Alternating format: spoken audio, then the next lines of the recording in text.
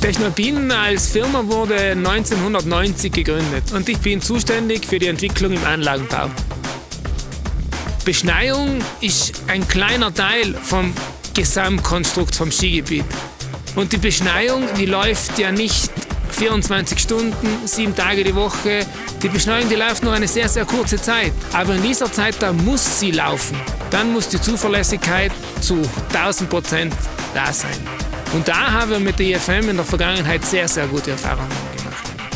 Positionierung ist beim Schneeerzeuger sehr, sehr wichtig. Und hier ist wichtig, dass man versteht, wo die Maschine jetzt ganz genau steht. Denn wenn die Maschine läuft und wenn der Strahl aus der Maschine rauskommt, wenn wir da einen leichten Wind haben, kann man dementsprechend gegensteuern und man steigert die Effizienz. Denn dann bleibt der Schnee auf der Piste liegen und ist nicht irgendwo im Wald draußen.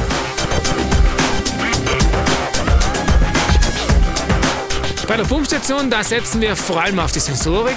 Also da sind die Drucktransmitter, dann sind die Strömungswärter sind da sehr, sehr wichtig.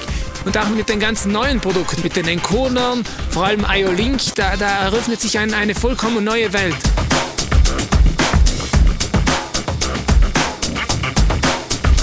Industrie 4.0 ist ein Riesenthema für uns und wir sehen einfach hier ein, ein riesiges Potenzial. Also die Daten, das ist das Gold äh, dieses Jahrtausends und wir glauben, dass wir hier dann vor allem auch mit, mit, mit Analysen die Anlage zuverlässiger und effizienter machen können.